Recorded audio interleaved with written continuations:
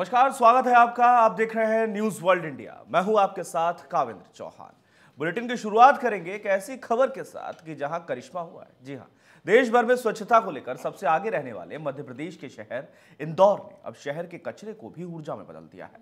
यहाँ एशिया का सबसे बड़ा बायो सी प्लांट बनाया गया है जिससे जल्द ही करीब चार बसें बायो सी से चलेंगी आज प्रधानमंत्री नरेंद्र मोदी इस प्लांट का उद्घाटन करेंगे 15 एकड़ में फैला ये प्लांट 150 करोड़ की लागत से बना है इस परियोजना के जरिए रोजाना 400 बसें और 1000 से ज़्यादा गाड़ियां चलाने की योजना है इस प्लांट के जरिए न सिर्फ पर्यावरण को फायदा पहुंचेगा बल्कि इससे कमाई भी होगी ये प्लांट पीपीपी मॉडल पर बनाया गया है जिससे इंदौर नगर निगम को सालाना 2.5 करोड़ रुपए की आमदनी होगी तो बायो सी प्लांट आपकी स्क्रीन पर है जिसका उद्घाटन आज खुद प्रधानमंत्री नरेंद्र मोदी करेंगे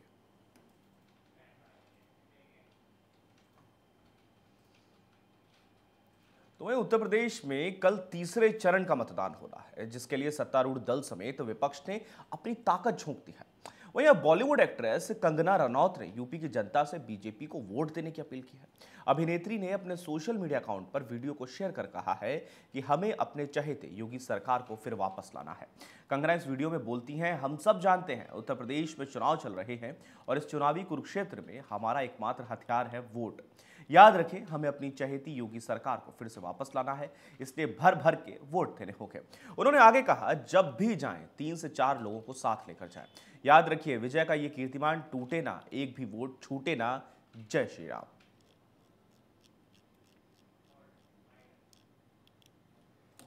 नमस्ते दोस्तों हम सब जानते हैं कि उत्तर प्रदेश में चुनाव चल रहे हैं और इस चुनावी कुरुक्षेत्र में हमारा एकमात्र हथियार है वोट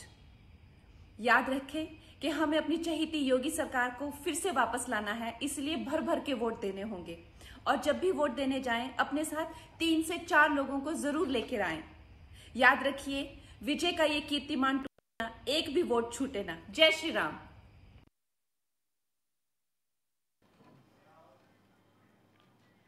वे कर्नाटक के ग्रामीण विकास और पंचायती राज मंत्री के एस ईश्वरप्पा की तरफ से राष्ट्रध्वज के संबंध में दिए गए कथित बयान को लेकर उन्हें बर्खास्त करने की मांग कर रही कांग्रेस विधायकों के हंगामे के बाद राज्य विधानसभा की कार्यवाही स्थगित कर दी गई जिसके बाद कांग्रेस विधायकों ने कहा कि जब तक सदन की बैठक नहीं होगी तब तक वो सदन में धरना जारी रखेंगे दरअसल कांग्रेस की तरफ से कर्नाटक के ग्रामीण विकास और पंचायती राज मंत्री को बर्खास्त करने की मांग के चलते कल ही सदन की कार्यवाही में करीब दो घंटे का विलंब हुआ सदन की कार्यवाही शुरू दस बजे होती थी थी लेकिन प्रश्नकाल के शुरू होते ही कांग्रेस सदस्यों ने अप्पा को बर्खास्त करने की मांग करते हुए नारेबाजी की बता दें कि ईश्वरप्पा से पत्रकारों ने सवाल पूछा था कि क्या लाल किले पर कभी भगवा झंडा फहराया जा सकता है इसके जवाब में उन्होंने कहा कि आज नहीं भविष्य में किसी दिन उनके इसी बयान के बाद कर्नाटक में बवाल मच गया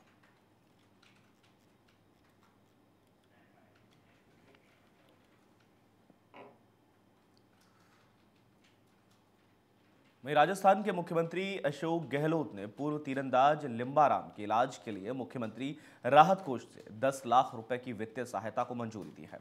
उदयपुर के सरदीत गांव के रहने वाले तीन बार के ओलंपियन लिम्बाराम पिछले कुछ समय से गंभीर बीमारी से जूझ रहे हैं फिलहाल गाजियाबाद के एक अस्पताल में उनका ब्रेन स्ट्रोक का इलाज चल रहा है सीएम गहलोत ने लिम्बाराम की बीमारी के बारे में जानकर मुख्यमंत्री राहत कोष से दस लाख रुपए की वित्तीय सहायता स्वीकृत की है और प्रधान निवासी आयुक्त शुभ्रा सिंह को बीमार तीरंदाज को हर संभव सहायता देने का निर्देश दिया है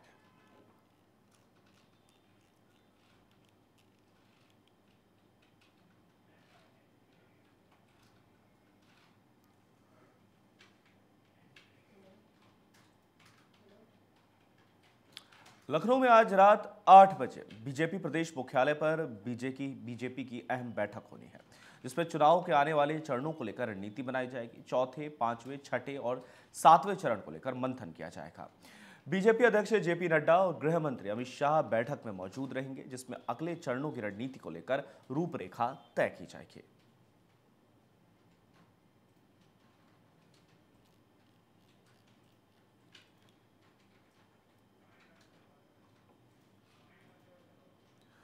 तो आगामी चुनाव को लेकर रणनीति बनाई जाएगी लखनऊ में बीजेपी की एक अहम बैठक होने जा रही है इस बैठक में तमाम बड़े नेता मौजूद रहेंगे और उसके साथ ही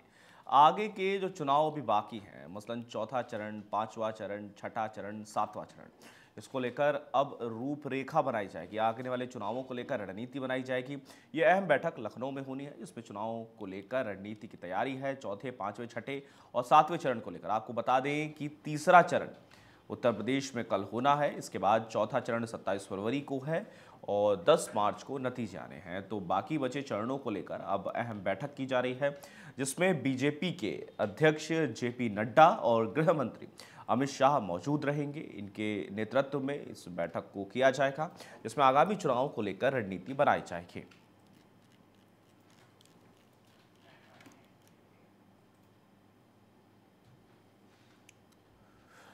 वहीं लखनऊ मध्य से बीजेपी प्रत्याशी रजनीश गुप्ता के समर्थन में प्रचार करने पहुंची अपर्णा यादव ने कहा कि सोशल नेटवर्किंग के मामले में सबसे आगे रजनीश गुप्ता है दस मार्च के बाद फिर से बीजेपी आ रही है जब कोरोना था योगी जी के पिताजी का देहांत हो गया था लेकिन वो कोविड सेंटर में हमारे आपके लिए बैठे रहे वो चाहते तो पिताजी के निधन पर जा सकते थे लेकिन उन्होंने राजधर्म मर्यादा का पालन करना ज़्यादा उचित समझा वो गौरवशाली इतिहास के साथ गौरवशाली मुख्यमंत्री हैं हमारे प्रधानमंत्री जी का नारा है सबका साथ सबका विश्वास सबका विकास माफिया राज और गुंडा राज योगी राज में खत्म हुआ है 10 मार्च के बाद भी बुलडोजर चलने का ही काम होगा ये तस्वीरें लखनऊ से आपको दिखा रहे हैं जहां लखनऊ मध्य से बीजेपी प्रत्याशी हैं रजनीश गुप्ता इनके समर्थन में मुलायम सिंह यादव की बहू और बीजेपी नेता अपर्णा यादव पहुंची थी उन्होंने यहां उनकी तारीफ में कसीदे गढ़ते हुए कहा कि सोशल नेटवर्किंग के मामले में रजनीश गुप्ता सबसे आगे हैं और दस मार्च को एक बार फिर योगी सरकार बनने जा रही है उन्होंने इस बीच उस वाक्य का भी जिक्र किया जब कोरोना काल के दरमियान मुख्यमंत्री योगी आदित्यनाथ के पिताजी का देहांत हो गया था लेकिन वो वहाँ नहीं गए बल्कि कोविड सेंटरों का निरीक्षण करते रहे तो इस वाक्य को याद दिलाते हुए उन्होंने कहा कि सीएम योगी आदित्यनाथ ने राजधर्म मर्यादा का पालन करना उचित समझा था उस वक्त और वो गौरव गौरवशाली इतिहास के साथ गौरवशाली मुख्यमंत्री हैं और साथ ही साथ इस बीच उन्होंने प्रधानमंत्री मोदी जी के बारे में भी कहा उन्होंने कहा कि प्रधानमंत्री जी का नारा है सबका साथ सबका विकास सबका विश्वास माफिया राज और गुंडा राज युगराज में खत्म हुआ है और बुलडोज़र का जिक्र भी उन्होंने किया उन्होंने कहा कि 10 मार्च के बाद भी बुलडोज़र चलेगा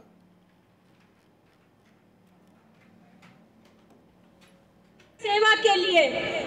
अपना अमूल्य योगदान दिया है ऐसे प्रत्याशी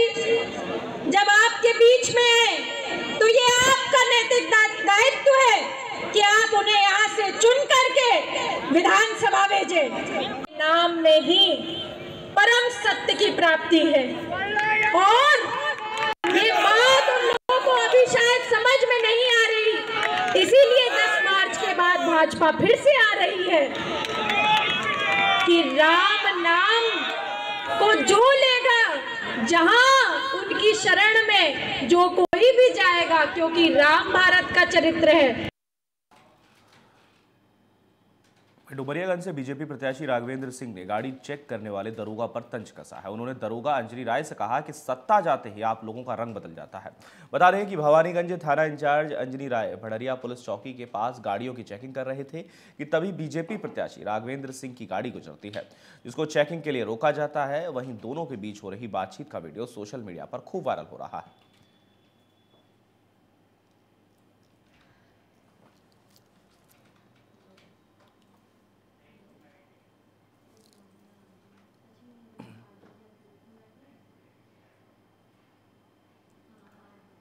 वहीं कौशाम्बी से बीजेपी सांसद विनोद सोनकर ने अखिलेश यादव पर अभद्र और अमर्यादित टिप्पणी की है उनका कहना था कि यह शुद्ध रूप से जातिवादी परिवारवादी भ्रष्टाचारी बलात्कारी नमाजवादी और शुद्ध रूप से सत्ता के भूखे लोग हैं तो आपको तस्वीरें दिखा रहे हैं बीजेपी से सांसद हैं विनोद सोनकर जिन्होंने इस तरीके की टिप्पणी की है कौसाम्बी से आपको बता दें कि बीजेपी के सांसद हैं विनोद सोनकर इन्होंने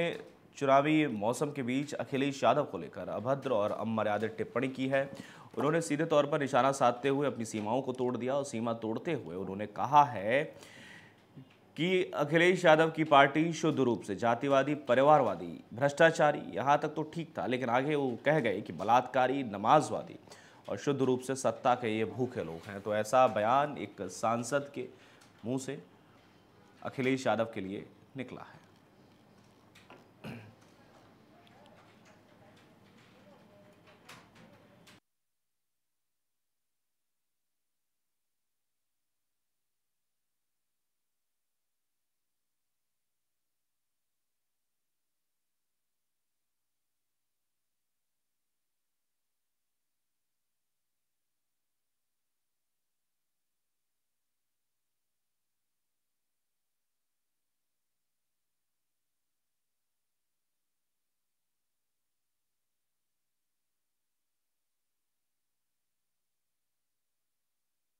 आए होते ना अपन फोटो इधर मर जाते जहर खा के फांसी वांसी लगा देते कौन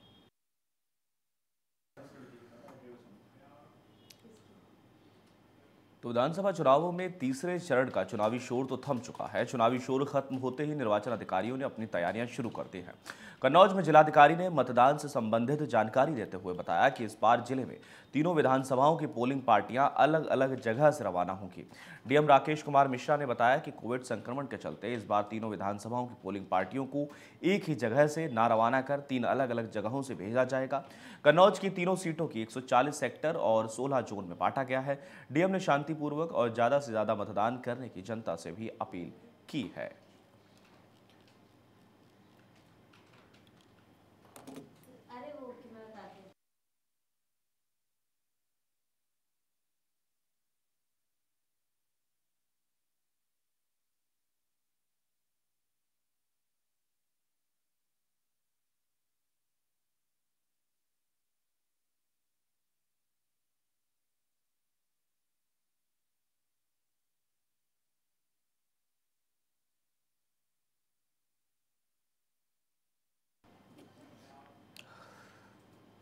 यूक्रेन और रूस के विवाद के बीच शुद्ध युद्ध होने की खबर से छात्रों के परिजन परेशान हैं छत्तीसगढ़ के बलरामपुर जिले की कुस्मी में दो छात्र रविकांत मैत्री और सुभाषीष मिश्रा जो कि यूक्रेन में एमबीबीएस की पढ़ाई कर रहे हैं उनके माता पिता दोनों छात्रों को लाने के लिए राज्य और केंद्र सरकार से अपील कर रहे हैं कि उनके बच्चों के साथ भारत के सभी छात्र छात्राएं युद्ध से पहले सुरक्षित देश आ जाएं।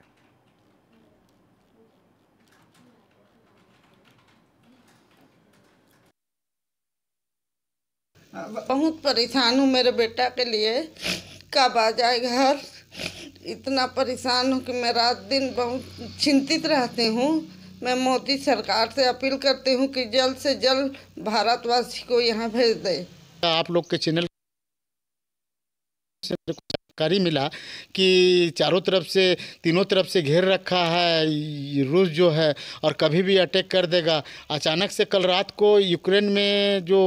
राजदूत हैं भारत भारतीय राजदूत वो एकदम से उन बताया कि भाई आप लोग व्यवस्था कर दो और भारत के वाले चले जाए कॉलेज सॉरी कॉलेज के जो वो हैं वो बोले कि आप लोग अपने रिस्क पर चले जाइए लड़का करीब कंप्लीट हो गया है उसका एम पढ़ने गया है पढ़ाई करने तो अभी जैसे रूस का और यूक्रेन का चल रहा विवाद उसके हिसाब से तो बहुत हम लोग का हालत ख़राब हो गया है न खाने का मन कर रहा है ना कुछ भी करने का मन न रात में सो पा रहे हैं ना दिन को चैन आ रहा है तो हमारा क्या है कि स्टेट राज्य सरकार और केंद्र सरकार से अपील है कि हमारे बच्चे और भी बच्चे लोग को मतलब हिंदुस्तान वापस लाने की व्यवस्था करें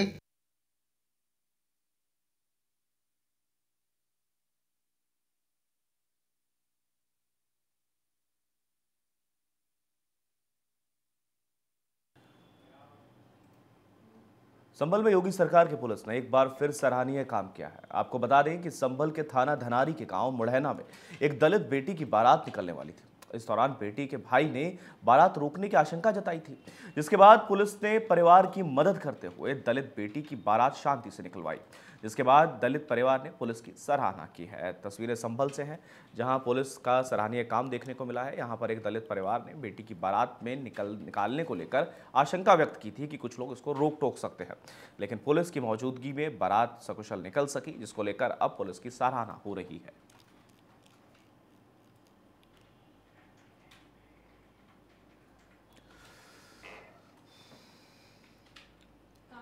यूपी विधानसभा 2022 को लेकर पीलीभीत में चौथे चरण यानी 23 फरवरी को मतदान होना है जिसको लेकर तमाम सियासी दिग्गज नेता जमीन पर उतर चुके हैं आज 19 फरवरी को सूबे के मुख्यमंत्री योगी आदित्यनाथ पूरनपुर विधानसभा और बीसलपुर विधानसभा में अपने उम्मीदवारों के लिए चुनावी जनसभा को संबोधित करेंगे वहीं दूसरी ओर जिला मुख्यालय पर स्थित ड्रमंड राजकीय इंटर कॉलेज में सपा राष्ट्रीय अध्यक्ष अखिलेश यादव अपने चारों प्रत्याशियों के समर्थन में जनसभा को संबोधित कर दो के चुनाव में जनता का साथ और आशीर्वाद मांगेंगे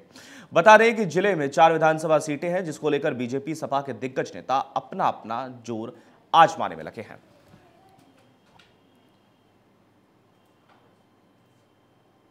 यूपी 2022 विधानसभा चुनाव का चुनाव रण जो है सच के पूरी तरीके तैयार है वहीं पीलीभीत जनपद की बात की जाए तो पीलीभीत जनपद में चौथे चरण यानी तेईस फरवरी को यहाँ मतदान होना है जिसको लेकर तमाम भाजपा के बड़े नेता पीलीभीत जनपद में पहुँच रहे हैं वहीं बात की जाए तो सूबे के मुखिया योगी आदित्यनाथ पूरब विधानसभा और बीसलपुर विधानसभा में अपने अपने प्रत्याशियों के लिए चुनावी जनसभा को संबोधित करने के लिए पहुंच रहे हैं वहीं बात की जाए शहर के जुम्मन राज के इंटर कॉलेज की तो शहर के जुम्मन राज के इंटर कॉलेज में समाजवादी पार्टी के राष्ट्रीय अध्यक्ष अखिलेश यादव अब चारों शहर की चारों जनपद की चारों विधानसभा प्रत्याशियों को के समर्थन में वोट मांगने के लिए यहाँ पहुँच रहे हैं और जनसभा को संबोधित न्यूज़ वर्ल्ड इंडिया के लिए प्राणी गुप्ता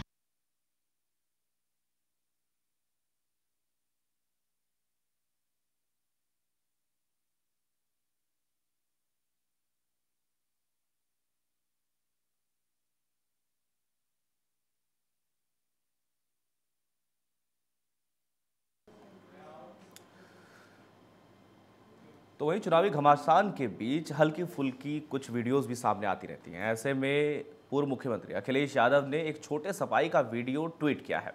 अब ये वीडियो काफ़ी वायरल हो चुका है इस वीडियो में एक छोटा सफाई कहता हुआ दिखाई दे रहा है कि इतना तो मजनू भी नहीं पिटा लैला के प्यार में जितना कि बेरोजगार पिट गए योगी जी की सरकार में अब ये वीडियो काफ़ी वायरल हो चुका है इस वीडियो में क्या कुछ ये छोटा सफाई कहता हुआ नजर आया है आप भी सुनिए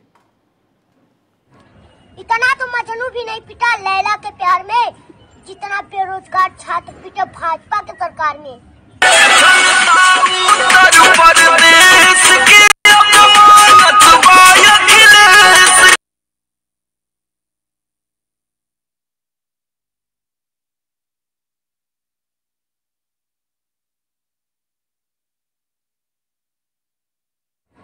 इतना तो मजनू भी नहीं पिटा लैला के प्यार में जितना बेरोजगार छात्र पीटे भाजपा की सरकार ने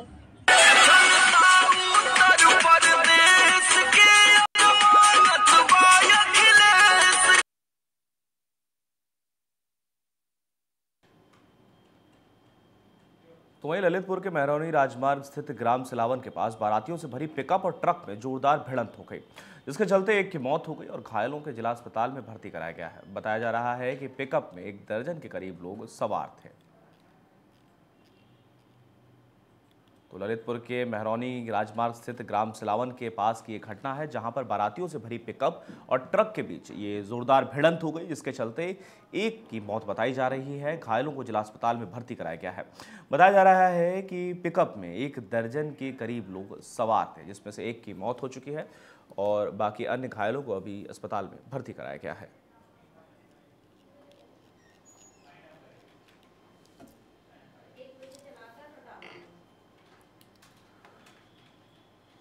तो फिलहाल के लिए इस बुलेटिन में इतना ही बाकी देश और दुनिया की तमाम बड़ी खबरों को देखने के लिए आप बने रहिएगा न्यूज़ वर्ल्ड इंडिया के साथ शुक्रिया